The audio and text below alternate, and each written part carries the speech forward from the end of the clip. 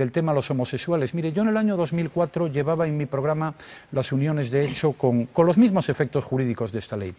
Y cuando el señor Rodríguez Zapatero anunció este tema, yo fui a hablar con él y él recibió y le dije, eh, mira,